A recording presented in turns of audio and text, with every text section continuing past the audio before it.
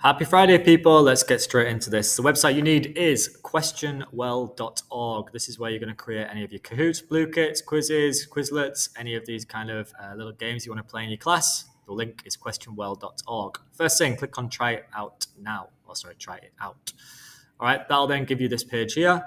As you can see, we're going to put in a topic. I'm going to go for IGCSE, uh, Computer Science Number System, language is English. The reading section, here you can copy and paste any content from a textbook, from an article, or from a website, or you can actually paste in a website link, such as YouTube. I have a YouTube video here. I'm literally going to copy that link, paste it into the reading section, and my little robot friend here is going to generate the text from the speech within that YouTube video.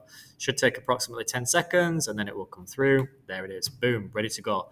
All of the content from that 10 minute YouTube video is now written up here. Scroll down, we're going to make multiple choice questions, generate the set, and then again, our little robot friend will process that. That takes between 30 seconds to a minute. This is the end result. Okay, you can see here that I've got all of my multiple choice questions with the correct answers already in there. Right, you just need to check that the questions are obviously accurate because it is done by AI. All right, but a quick scan through, you should be happy with them. Next thing, we want to get it into Kahoot or any of the other games, Quizlet, Blooket. All right. So make sure we uh, choose select all. I want to go for Kahoot. Let's download that option. and there it is. It's managed to download it. Okay, so now I'm going to go into my downloads, double click into the actual uh, Kahoot set, and it should load up just like this. What you'll notice, time limit is at 60 seconds default. Change it to 20 seconds or 30, whatever you want.